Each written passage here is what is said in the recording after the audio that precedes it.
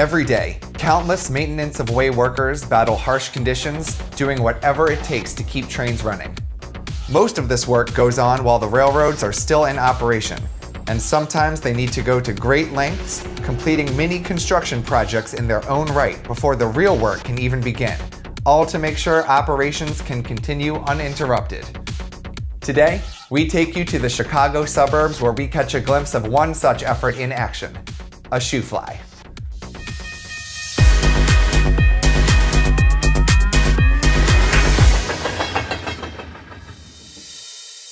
Just west of Chicago is an incredibly busy section of railroad known as the racetrack. BNSF's triple track east west route hosts hundreds of freights, Metra commuter trains, and Amtrak corridor and long distance trains every day. Shutting down the railroad to replace a piece of the line just wasn't an option. So when a bridge over busy Interstate 294 needed to be replaced, maintenance of way crews got to work taking the original bridge out of service by creating what's known as a shoofly. This temporary track, complete with a temporary bridge, is located just west of Metra's Western Springs Station, creating a uniquely curvy piece of track on BNSF's otherwise arrow straight mainline. Let's take a look at this unique piece of short-lived railroading infrastructure and enjoy some shots of BNSF freights Metra commuter trains, and Amtrak long distance trains as they navigate the shoofly.